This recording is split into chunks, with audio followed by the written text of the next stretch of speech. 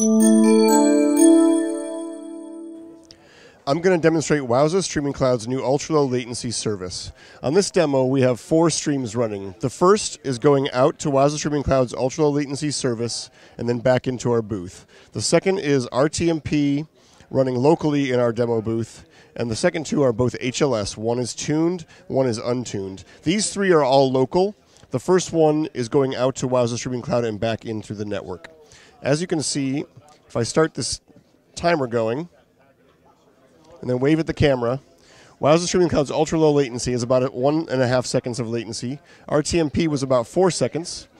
Tuned HLS with two second segment sizes was about nine seconds.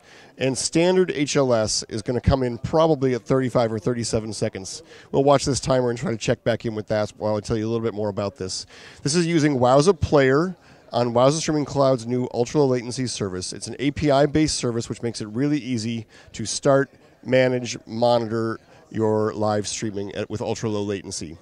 Uh, and right about there, 33 seconds with standard HLS. This is what most people on the internet are seeing today, about 30 plus seconds of latency. Uh, and Wowza Streaming Cloud's new ultra latency service will eliminate that.